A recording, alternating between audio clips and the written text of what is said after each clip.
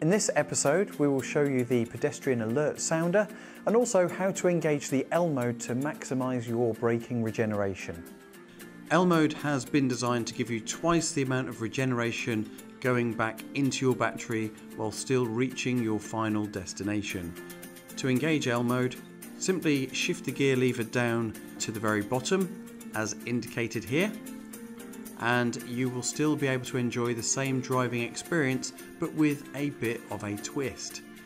One of the other benefits to engaging L mode and the one pedal driving is it can actually reduce the cost of ownership due to less wear and tear on the brake pads and on your brake discs.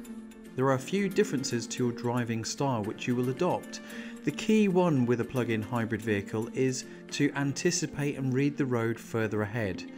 This will mean that you brake less and that your driving will be a much smoother style, therefore making the most of the electric range and also the petrol range within that vehicle. But when you come to decelerate, you can lift off the accelerator pedal and because the braking regeneration is more intense, what you will notice is that the vehicle slows down at a much quicker rate than a standard vehicle. Therefore, in certain circumstances and when safe to do so, you can slow down without having to use the brake pedal. So what you will find is when you release the accelerator pedal, the rear brake lights will illuminate to warn other drivers around you that the vehicle is slowing down.